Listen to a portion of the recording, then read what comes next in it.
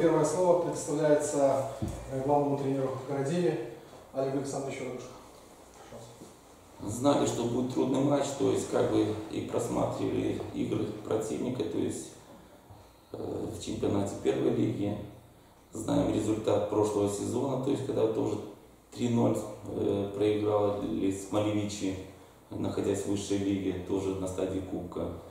Поэтому, честно говоря, знали, какой силы противник, что будет нелегкая игра, но, к сожалению, не удалось нам достучаться до ребят, поэтому вышли на поле и, честно говоря, думали, что уже выиграли, но получилось наоборот, да еще с таким счетом. Поэтому, думаю, будем разбираться. Что-то будем менять, что-то будем делать, потому что так нельзя играть, и то есть за свою команду. Благодарю. А, Алексей Иванович, вам слово. Ну, во-первых, хочется поздравить всех наших болельщиков с победой. Ребятам сказать огромное спасибо, потому что готовились к этой игре вот, и разбирали команду соперника. Конечно, первая задача была не просто нейтрализовать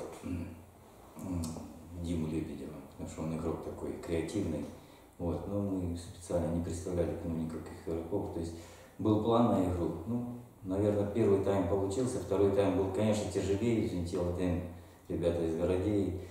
Не скажу, что мы играли по счету где-то это, но были такие моменты, которые должны были там на контратаках, наверное, сыграть.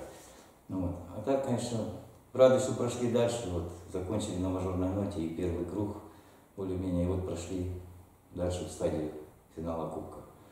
Поэтому всех поздравляю, всем спасибо. Еще будут вопросы к наставникам? Благодарю вас за пресс-конференцию.